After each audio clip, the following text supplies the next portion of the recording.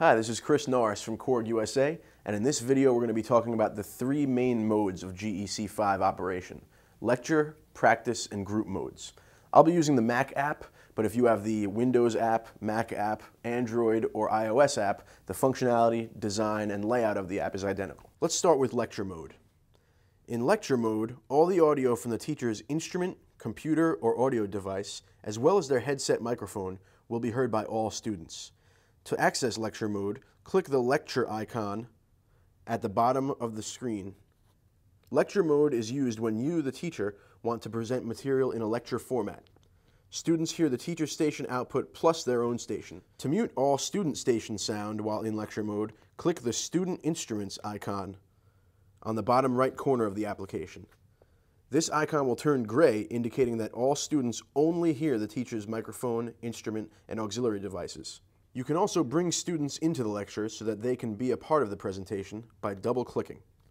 A blue headset icon will appear next to the student's name, and they are now broadcasting their station's audio to the class. Next is practice mode. To access practice mode, click the practice icon at the bottom of the main GEC screen. Practice mode is used when the students are working independently. Each student only hears his or her own instrument.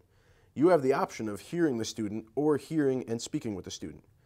To eavesdrop on a student, double-click the student station.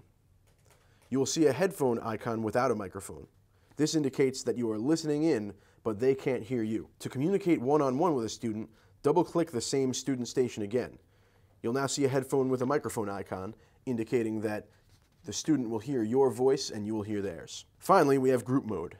To access group mode, click the group icon at the bottom of the screen. Group mode allows you to define groups of two or more student workstations so that they can collaborate on projects with complete audio capabilities. Each student hears their own instrument and the mic and instrument of the other students working in their assigned group. You have the option of eavesdropping on the groups or having two-way communication with them.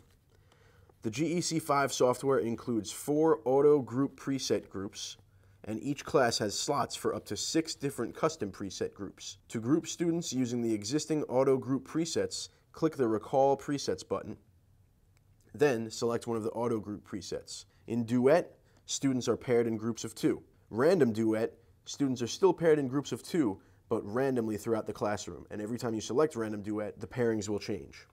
Quartet groups students in groups of four. Group All puts all students into one large group. And ungroup all ungroups every student. To group students into custom groups, enter group mode, then click and hold on a student station until the icon turns blue. Continue to click and hold on additional students so multiple students are blue. Once you've selected the students for your first group, click New Group down on the bottom left. The students will now display a group icon and a red color. Repeat this process for each additional group. Each new group will have a different color. To add a student to an existing group, Click and hold on a student in the group and then click and hold on the new student. To add a student to an existing group, click and hold on a student in the group and then click and hold on the new student. Click the colored box next to Add to Group. To remove a student from an existing group, click and hold on the student you want to remove until the icon turns blue, and then click Ungroup. If you have a set grouping that you commonly use, you can create your own custom preset. Select Save Preset from the top center of the screen. Select one of the custom presets, then type a name for the preset and click Save. To recall this custom preset in the future, click Recall Preset, and then select from your listing of manual presets. The last feature on the bottom of the GEC screen is All Call. All Call is available in practice and group modes. Press it to route the signal from the teacher's mic to every headphone set connected in the studio or classroom. This is the quickest and easiest way to establish communication with the students in practice or group mode.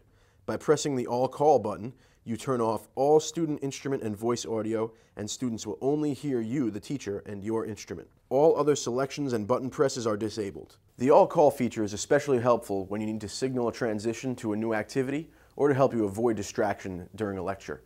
If you click the link on the left, that'll take you to the next video in this series, which will dive a little deeper into the teacher and class menu of the GEC. Thanks for watching, and if you have any questions, you can contact us at korg.com education.